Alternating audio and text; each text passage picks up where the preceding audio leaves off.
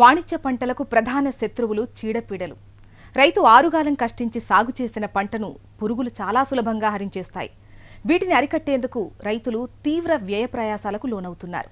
తెల్లదోమ నల్లి లద్ది గులాబీ పురుగులు గత నాలుగేళ్ళుగా పత్తి కంది మినప పెసర వంటి పంటలను నాశనం చేస్తున్నాయి.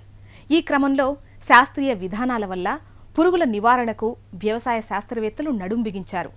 రైతుల్లో అవగాహన కల్పించడంతో పాటు సమగ్ర పురుగుల యాజమాన్యం పథకాన్ని అమలు చేస్తున్నారు. వారికి ఆర్థిక సహాయాన్ని ఆత్మ పథకం ద్వారా అందజేస్తున్నారు.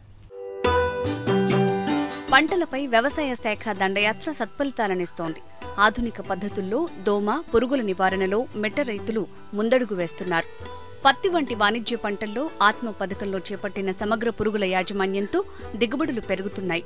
పురుగు మందుల ఖర్చు తగ్గించి పంటను కాపాడుకోవటంలో రైతులు అధిక దిగుబడుల్ని సాధిస్తున్నారు. వీరికి ప్రోత్సాహకంగా ప్రభుత్వం నాలుగు వేల రూపాయల ఆర్థిక సాయం అందిస్తోంది.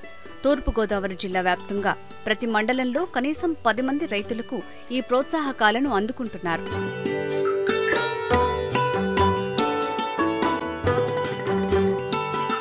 మాది ఒక ఆరు ఎకరాలు వ్యవసాయం చేస్తున్నామండి ఇందులో కాటన్ మేజర్గా చేస్తామండి.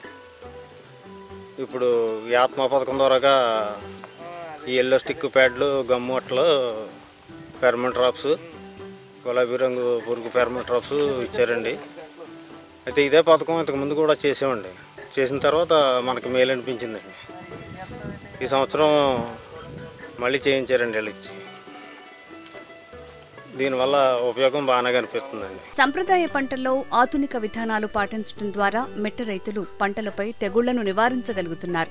వారికి వ్యవసాయ శాఖ చేదోడుగా నిలవటంతో మంచి ఫలితాలు సాధిస్తున్నారు. వాణిజ్య పంటల్లో పురుగులు దోమల దాడి అధికంగా ఉంటుంది. పంట దిగుబడిని సగానికి పైగా ఇవే హరించేస్తాయి. ఈ దశలో వాటిని నివారించడానికి అధికంగా పురుగు మందులను వినియోగిస్తున్నారు. ఈ క్రమంలో పురుగుమందుల వాడకం తగ్గించి ఆధునిక విధానాల ద్వారా చీడపీడల నివారణపై వ్యవసాయ అధికారులు రైతులకు అవగాహన కల్పిస్తున్నారు. వారిని ప్రోత్సహించే దిశగా ఆత్మ సమగ్ర పురుగుల యాజమాన్యం పథకంలో ఒక్కో రైతును ప్రోత్సహిస్తోంది. అయితే ఎక్కువగా రైతాంగం ఎక్కడైతే ప్రతి సాగు చేస్తున్నారో అక్కడ విపరీతమైనటువంటి పురుగు మందుల వినియోగం అనేది ఎక్కువగా చేస్తూ ఉంటారు. అయితే అవసరం ఉన్నా లేకపోయినా ప్రతి పంట అనగానే మొదటి నుంచి కూడా పంట వేసినప్పటి నుంచి కూడా పంట తీత అయ్యేంత వరకు సుమారుగా ఏడెనిమిది నెలల పాటు ఎక్కువగా పురుగు మందులు వినియోగం చేస్తూ ఉంటారు. దీన్ని అరికట్టి సమగ్ర సస్యరక్షణ విధానం ద్వారా ఈ పంటను సాగు చేసుకొని ప్రతిలో కూడా లాభదాయకమైన పంట తీయడానికి ఖర్చులు తగ్గించుకునే విధానంలో ఉన్న మన ఐపీఎం అనే మెథడ్లో ఆత్మ ఆత్మలో భాగంగా మేము ఇక్కడ డిమాన్స్ట్రేషన్ ప్లాట్స్ అనేది కండక్ట్ చేయడం జరిగింది. Sticky delta pads pheromone traps వంటి ఆధునిక పరికరాలను తోటలో ఏర్పాటు చేస్తున్నారు. పురుగుల సహజ నివారణలో అయిన పక్షి కేంద్రాలు నిర్మిస్తున్నారు. ఇందుకోసం రైతులకు నాలుగు వేల రూపాయల వరకు ప్రోత్సాహకాన్ని వ్యవసాయ అధికారులు అందజేస్తున్నారు.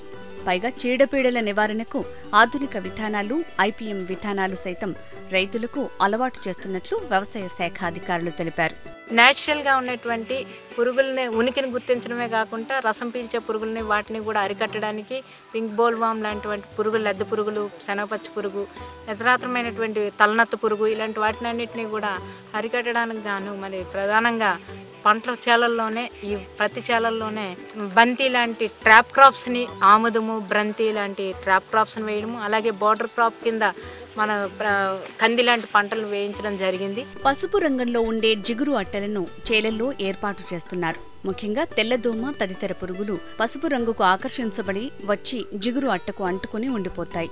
ఒక రోజులో ఎన్ని దోమలు పురుగులు ప్యాడ్కు అంటుకుంటాయో గమనించటం ద్వారా పంటను ఏ రకం దోమ లేదా పురుగులు ఆశిస్తున్నాయో వాటి ఉధృతిని తెలుసుకోవచ్చు. ఈ స్టిక్కీ ప్యాడ్స్ ద్వారా నల్లి లద్దె రసం పీల్చే పురుగుల నివారణ సాధ్యమవుతుంది. పసుపు రంగుతో పూసిన జిగురు పూసినటువంటి అట్ట వీటిని ఎల్లో స్టిక్కీ ట్రాప్స్ అంటారు. ఈ ప్రధానంగా రసం పీల్చే పురుగులు మరి వైట్ ఫ్లైని ఎక్కువగా మనం ప్రతి పంటలో ఎక్కువగా తెల్లదోమ అనేది ఎక్కువగా ఉంటుంది. ఈ తెల్లదోమని మనకు మందుల ద్వారా కొట్టి చేయడం కన్నా కూడా ఈ స్టిక్కీ ట్రాప్స్ని ఎరెక్ట్ చేయడం ద్వారా మొక్క ఎంతైతే ఎత్తులో ఉందో అంత ఎత్తులో కానీ వీటిని మనం ఎరెక్ట్ చేసుకోవడం ద్వారా ఈ ఇది పదిహేను ఇరవై రోజుల వరకు ఈ జిగురు అనేది దీని మీద ఉంటుంది. దీని మీద పురుగులన్నీ కూడా వైట్ ఫ్లై బాగా ఆకర్షించబడి ముందుకు రావడం జరిగి దీన్ని అంటుకోవడం ద్వారా వాటి యొక్క సంఖ్యను మనం వాటి యొక్క ఉధృతిని తగ్గించుకోవడానికి ఆస్కారం పిరమిడ్ ఆకారంలో ఉండే ఈ పసుపు రంగు ట్రాప్స్లో తెలుపు రంగు జిగురు అట్ట ఉంటుంది. ఈ అట్టపైనే ఆడపురుగులు మగ పురుగులను ఆకర్షించటానికి విడుదల చేసే ఒక రకమైన వాసన వెదజల్లే కెమికల్ను ఏర్పాటు చేస్తారు. ఈ వాసనకు మగ పురుగులు వచ్చి జిగురు ట్రాప్లో చిక్కుకొని చనిపోతాయి. వాటి ఉత్పత్తి తగ్గిపోతుంది. ఈ ట్రాప్స్ ద్వారా ముఖ్యంగా గులాబీ రంగు పురుగు నివారణ జరుగుతుందని వ్యవసాయ అధికారులు వివరించారు.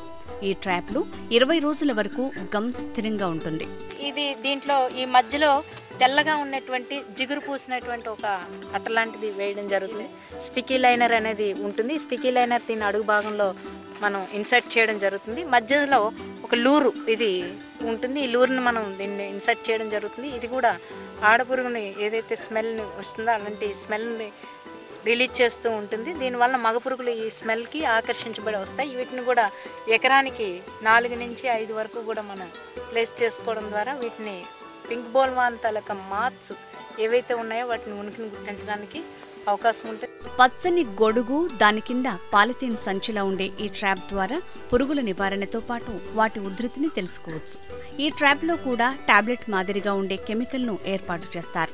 అది విడుదల చేసే వాసనకు మగ పురుగులు ఆకర్షించబడి ట్రాప్లో చిక్కుకుని పాలిథీన్ కవర్లో చేరుతాయి. ఒక రోజులో ఎనిమిది పురుగులు ట్రాప్లో చిక్కుకుంటే పంటపై చీడపీడల ఉధృతి అధికంగా ఉన్నట్లు గుర్తించాలి. వాటి నివారణకు మందులు పిచికారీ చేయాల్సి ఉంటుంది. ఈ ట్రాప్స్ ద్వారా శనగపచ్చ పురుగు తలనేత పురుగులను గుర్తించవచ్చు ఫెరమోన్ ట్రాప్స్ అంటారు ఇది ప్రధానంగా పింక్ బోల్ వామ్ని ఉనికిని గుర్తించడం కోసం ఉపయోగించడానికి ఉంటుంది. ఈ ట్రాప్ అడుగు భాగంలో లూరు ఈ మాత్ర అనేది ఒకటి ఉంటుంది. ఇది ముఖ్యంగా ఆడపురుగు ఏదైతే స్మెల్ను వదిలిపెడుతుందో అలాంటి స్మెల్ని రిలీజ్ చేయడం ద్వారా మగ పురుగులు ఆకర్షించబడి వస్తాయి. ఆ విధంగా వచ్చినటువంటి మగ పురుగులన్నీ కూడా దీంట్లోకి ఈ వెనక ట్రాప్ కింద భాగంలో ఉన్నటువంటి ఈ పాలిథిన్ కవర్లోనికి చేరడం జరుగుతుంది.